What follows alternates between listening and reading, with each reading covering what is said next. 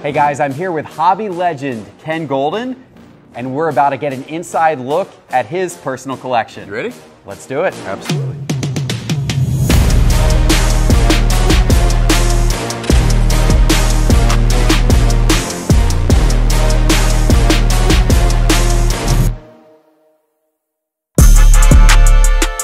Wow, Ken, what an office. Thank you. Yeah, this is incredible. I see so much that I want to ask you about. But I got to start over here because I see a young Ken Goldin. Look at this. Look young, at these. young, I, heavier with big glasses. I see young Ken Goldin, young Shaq there. So tell me, I, you've obviously been in the memorabilia world and in the sports mm-hmm. card world for a very long time. Yep. Back to the early days of Shaquille O'Neal and even before, right? Correct. How did this all get started for you? Well, I mean, I was collecting cards as a kid. Uh, made my first deal when I was 13 years old. It was before price guides, before the internet, before, before cell phones, and um, found a way to sell them. Discovered uh, Sports Collectors Digest and the Trader Speaks and started buying and selling. And then uh, when I was 19, and my dad says to me, hey, you know, you think there could be a big business in this? I said, sure. He goes, okay, I'm gonna try and raise money and start a public company. And I said, okay, there's no way that's gonna happen. But he raised money, started a public company, and we, we started Scoreboard. And um, the big move, the two big things that happened is number one, signing athletes exclusively to sign autographs and sell their product on TV.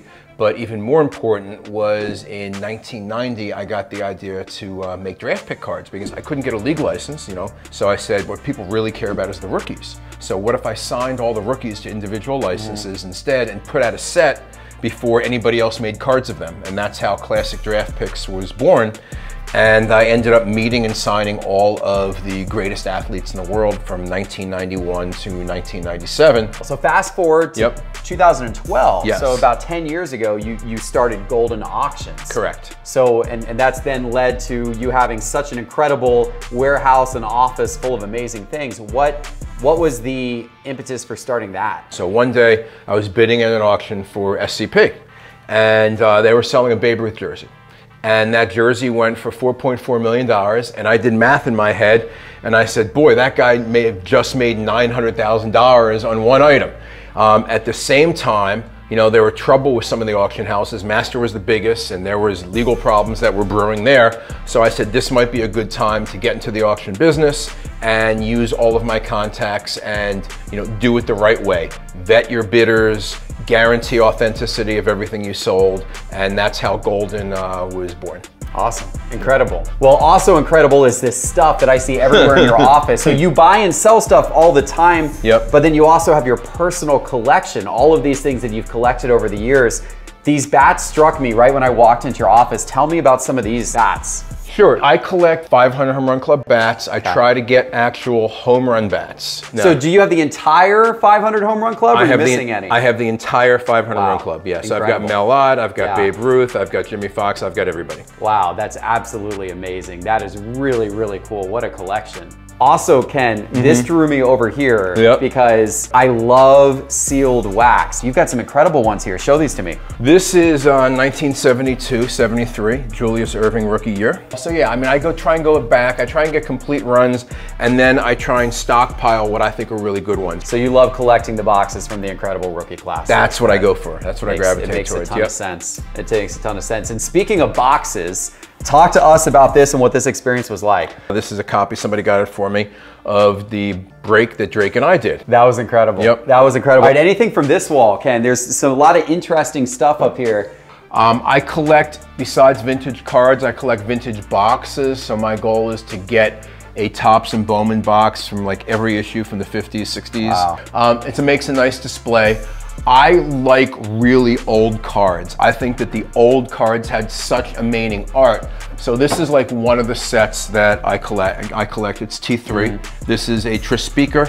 This is an original advertising display sign that they hung out in stores when the 1933 wow. Goudey came out. Such an iconic set. Yep, with four Babe Ruths.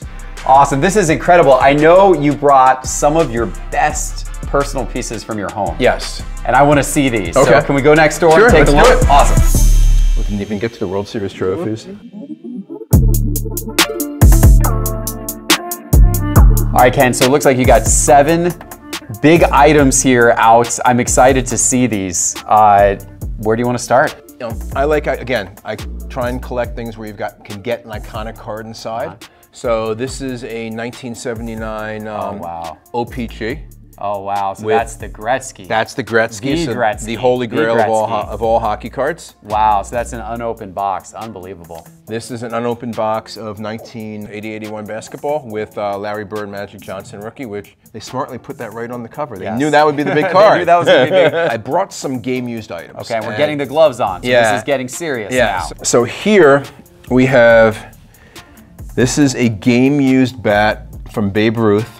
Wow. Used in the 1927 baseball season. Wow. Of course, his 60 home run season. Right. And this is the only Babe Ruth bat in existence that comes with provenance from Claire Ruth. Wow. So Claire Ruth saved this bat and uh, said that Babe saved it because it was used during his favorite season, 1927.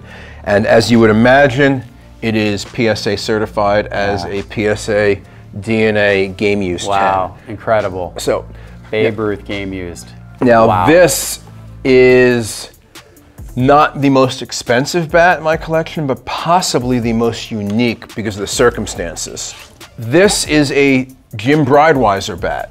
Okay. Who was a member, uh, you know, a, a, journeyman for the New York Yankees right. in 1951. Right. However, in 1951, there was a young rookie that was called up to play for the Yankees. Mickey Mantle. Mickey Mantle, yes. who did not have his own bat at the time. so Mickey Mantle borrowed Jim Brideweser's bat and take a look at that signature. Wow. That is a signature that you've not seen since the early 50s because that was his first signature. Before so that, he was used to signing a bunch of Exactly, stuff. before he came up with those loops uh -huh. that look uh-huh. like bananas. Uh -huh. um, so this is a rookie game used and signed wow. Mickey Mantle bat from 1951. This is a 1956 wow. game used Atlanta Braves wow. Hank Aaron jersey. Wow. And there you see signed the number well. 44 in the back. Incredible. So wow, that, that is really wild. Uh, that is probably the single toughest jersey I have in my collection. And then we have, I love this one because this is, it's impossible to get jerseys of these old timers that are photo matched. This was photo matched to about 40 games in the 1969 season, one of Hank Aaron's best seasons of his career. He had over 40 home runs. And I love the fact because you have the 100th anniversary of baseball patch. So this is a photo matched Hank Aaron to, he hit about 15 home runs in this jersey. Wow. So now here, again, Willie Mays. What's cool about this one, so Willie Mays, of course, New York Giant, and then yep. San Francisco Giant. Yeah. Um, towards the end of his career in 72, the Mets were getting pretty good and the Giants were horrible, and Willie wanted to go back to New York. So they traded Willie Mays to the Mets. Mm -hmm. When he went back to New York, they, you know, he played in his first game and Sports Illustrated took a picture of him and, you know, for his first game, you know, now back in New York. This is the jersey, photo matched, uh, that Willie Mays wore in his first ever game as the New York Mets. Unbelievable. Yeah.